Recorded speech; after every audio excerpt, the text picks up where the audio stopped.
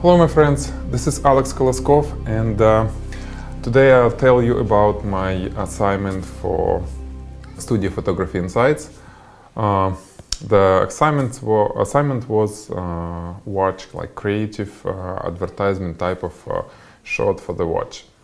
Uh, I selected my currently favorite watch which is this little Nixon watch. It's very, well, I like Basically, it. It can withstand the 100 meter uh, dive, which is pretty good for watch. So I was thinking it would be cool to kind of uh, to make a shot with uh, liquid with water.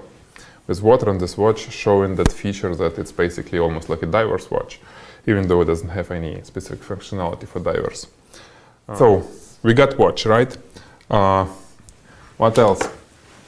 Uh, then I got this little uh, fish tank. This was uh, not made by me. I prefer to do it myself, but uh, that was probably the first uh, tank I bought. It's just a little tank where I removed uh, that black pl plastic stuff from the top, and while removing, I even break it. But so far it works, especially for that kind of shot. We need only half of it. Stop. Okay, so the tank and uh, I use this uh, kind of do-it-yourself uh, little shooting table. You see, basically it's an old tripod. I weld metal base on top of the head and with those sticky thing I can attach anything to it. Basically now it's two layers, one metal plate and another one black uh, glass, right? And uh, I'm going to put it, uh, but before I do so, I will do this. This is foil, and uh, I already did the shot. I'm just explaining you how I did it. The foil was needed to, well, I'll tell you later why you need foil. Now you can just start guessing it. So foil goes on, uh, on the bottom, uh, tank, half full tank,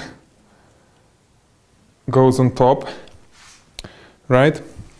Then uh, this cool device, I use it to hold my watch. Basically, this is uh, Grip It, uh, magnetic with magnetic base. The link to it will be posted on my uh, blog, as usual, uh, on that uh, post regarding this tutorial. So, the watch, the grip. Grip, I'm connecting it to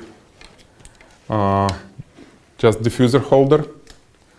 Well, I guess it goes this way, right? So it can be anything.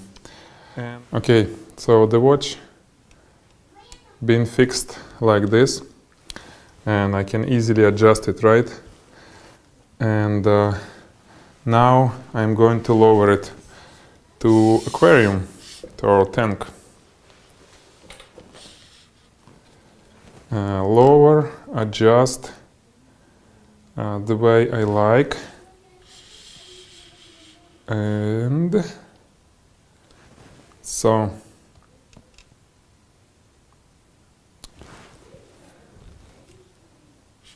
something close to this. I can always make it a little bit loose so the face of the watch will come to the camera. Camera is right here. Now the camera and the lighting. Uh, Canon EOS 5D Mark II with macro 100 millimeters macro lens. I prefer to shoot macro with studio in, in studio because uh, the best uh, quality and sharpness uh, comes from macro on that kind of distance. That's why uh, we call it macro, right? Uh, so X-Sync, one of 200 of a second, f18 aperture because of the the watch face being not in parallel uh, with sensor, it was kind of tilt, right? Uh, I need to kind of deep depth of field to get everything. Plus splashes should be all in focus. So f18. Uh, the lighting, these two lights was essential uh, for the watch, for the watch uh, itself, because I can show you, uh, you see the, the watch and uh, those areas where these two soft boxes created nice highlights. uh, from both sides.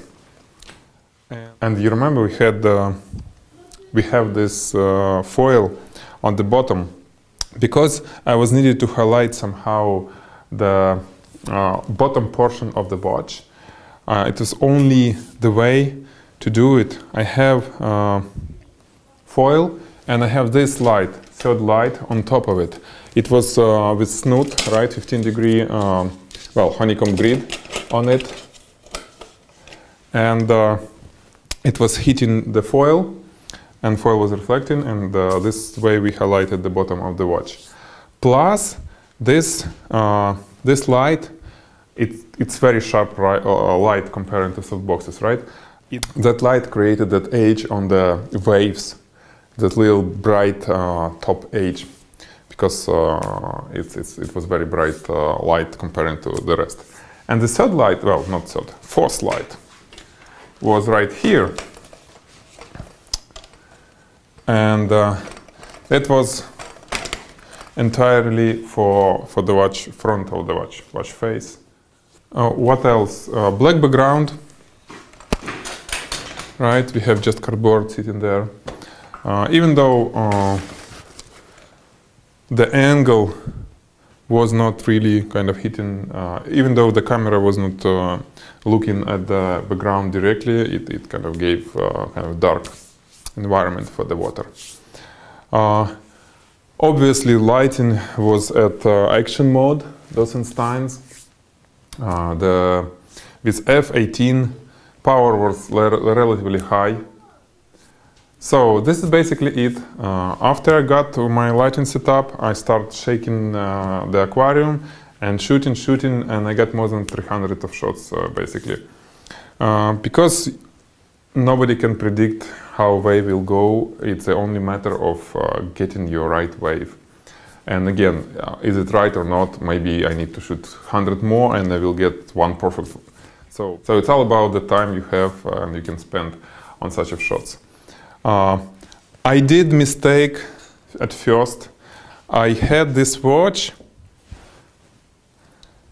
a little bit downward because this is kind of the head, this is the bottom, right? This is how we look at the watch, label on top. And I put them like this in the water. It just was, I didn't think it through well. And I got a lot of shots like this. And then we start evaluating uh, and then only it, it will it actually pop it up in Zhenia's head. Uh, she said, "Why you have uh, watch uh, down?" So it's they supposed to be like this, right? Water like that and watch a little bit higher. That's the only thing uh, I know I did wrong, and uh, again, it's only a matter of time to reshoot and to get that shot. Again, I did I did correct shot, and uh, you'll see many different shots. I'll show you, but we selected the one which where it's down because we like the splash. Okay, this is it. Uh, I hope you like it. As usually, uh, it was for uh, Studio Photography Insights Google Plus Hangout, which uh, I and uh, Dave Nietzsche doing every Wednesday at 10 p.m. Eastern Time at uh, Google Plus. Video will be from the Hangout will be posted on my blog, and every photographer who submit their work to our forum is will be reviewed. I hope we can review it still. Uh, when it will be too much, we we'll probably will select just uh, uh, several from the submission. But so far, we we are able to keep up.